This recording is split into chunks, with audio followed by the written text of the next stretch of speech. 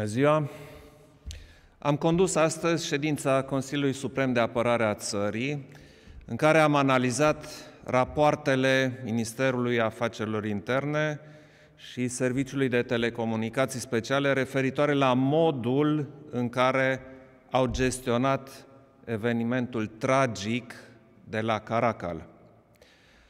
Această dramă ne arată unde este dus statul cu instituțiile lui atunci când pe primul loc sunt puse salvarea și protejarea infractorilor și când deschiderea porților închisorilor devine grija decidenților politici. Modificările aduse legilor justiției, valul de pensionări din sistemul de ordine publică și siguranță națională, recursul compensatoriu, toate acestea au generat grave vulnerabilități la adresa securității naționale, cu efecte dintre cele mai dramatice pentru siguranța oamenilor. Am ajuns aici pentru că guvernele din ultimii ani au umplut țara de incompetenți în funcții, au dat afară prea mulți profesioniști, au pus în schimb slugi și oameni incapabili.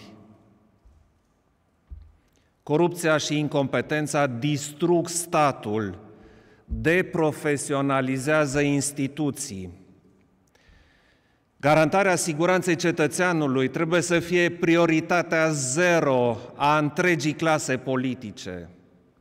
Dreptul la viață este cel mai important drept al omului și este obligatoriu ca întregul proces de reparare a legilor și a instituțiilor distruse în ultimii ani de guvernare a PSD-ALDE să pornească de aici. Cetățeanul trebuie să-și recâștige încrederea în stat și în instituții, să se simtă protejat în țara sa, iar un prim pas obligatoriu este eliminarea definitivă din sistem a celor care nu își fac această datorie.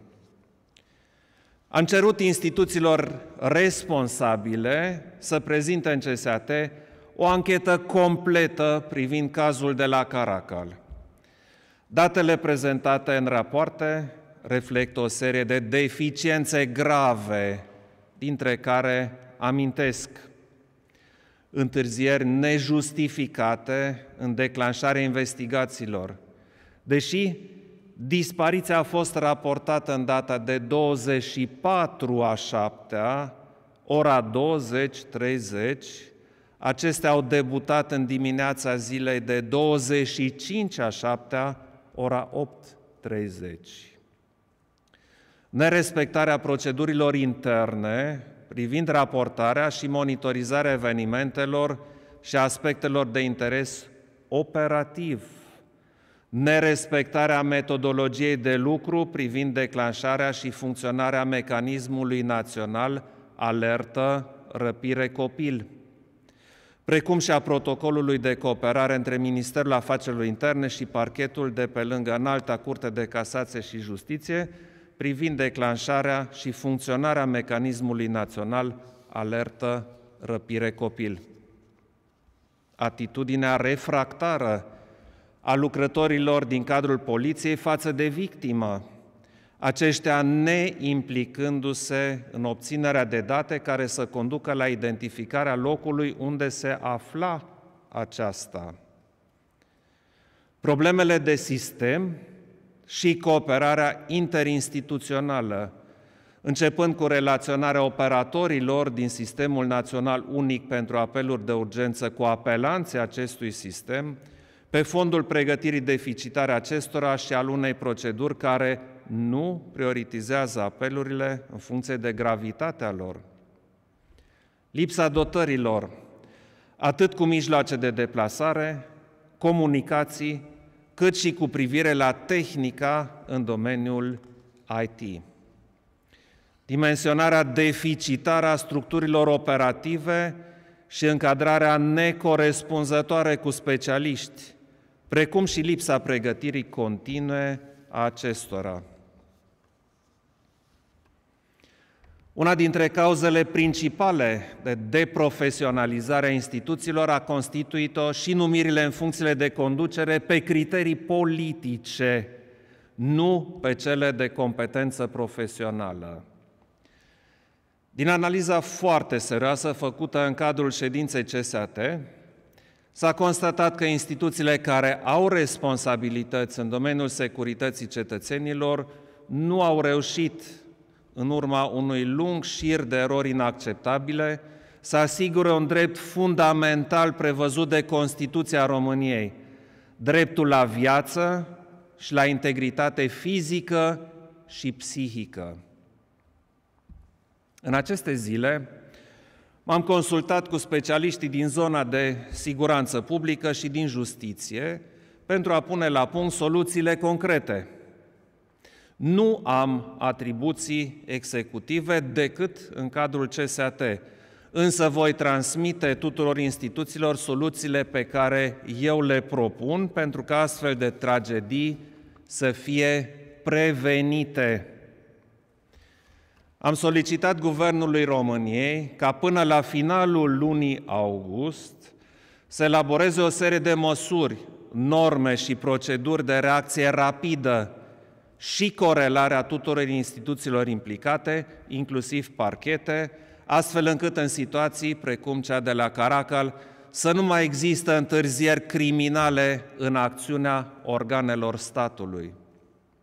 De asemenea, am solicitat guvernului să analizeze în regim de urgență legislația actuală în cazul infracțiunilor grave și foarte grave contra persoanei, în special în situațiile în care sunt afectate viața, libertatea și integritatea corporală, identificarea modalităților de optimizare a localizării prin implementarea transmiterii prin SMS a coordonatelor geografice ale terminalului și analiza situației sistemului de urgență actual 112. Am solicitat în cadrul ședinței de astăzi identificarea unor proceduri stricte cu privire la modul în care cei care răspund la 112 trebuie să ofere sprijin celor aflați în nevoie. Totodată, CSAT a emis astăzi hotărârea pentru eliberarea din funcția de director al Serviciului de Telecomunicații Speciale a domnului general Vasilca. Am cerut STS un control atent și serios cu privire la procedurile sale pentru a identifica soluțiile pentru o mai bună funcționare de acum înainte. Este nevoie de profesionalism, competență și seriozitate pentru că discutăm de răspundere enorme. Oamenii din fruntea acestor instituții trebuie să fie respectați pentru abordarea lor profesionistă și pentru orientarea lor democratică. Statul român are astfel de experți, iar rolul nostru este să le dăm ocazia de a lucra la cel mai înalt nivel.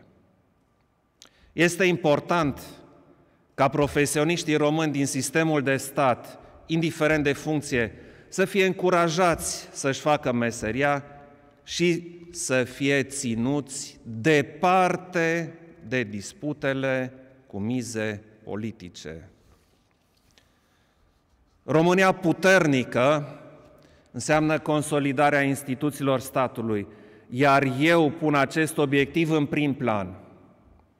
Statul român trebuie resetat cu profesioniștii pe care îi are și pe care îi poate atrage și cu o conducere politică ce înțelege care îi este rolul, acela de a întări statul și nu de a-l slăbi, de a îmbunătăți serviciile publice și de a proteja cetățenii și a le garanta o viață mai sigură și mai prosperă aici, în țara lor, Pe termen mediu, soluția este de a depolitiza tot aparatul de stat în zonele în care este nevoie de profesioniști.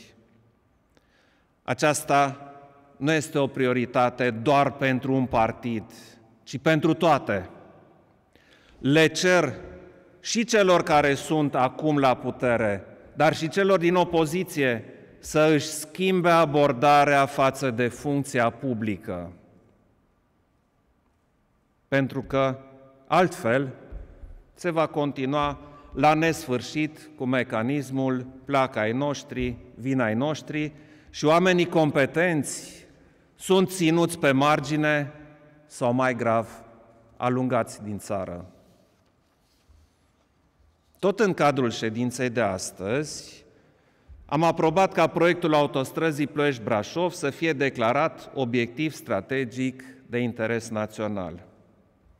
În acest context, am atenționat-o pe doamna prim-ministru că încă de la finalul anului trecut este în vigoare o lege pe care guvernul continuă să o încalce și care prevede obligativitatea construirii autostrăzii Moldovei. Avem o nouă dovadă a incapacității acestei guvernări de a dezvolta România. Este de plina responsabilitatea guvernului de a găsi acele soluții care se impun pentru a putea realiza aceste proiecte prioritare pentru milioane de români, inclusiv posibilitatea declarării și acestui obiectiv de infrastructură ca unul strategic de interes național, lucru pe care l-am propus foarte concret în ședința CSAT-ului de astăzi. Mai multe detalii privind și alte teme discutate în ședința CSAT veți afla din comunicatul de presă pe care îl veți primi la finalul acestei declarații. Vă mulțumesc!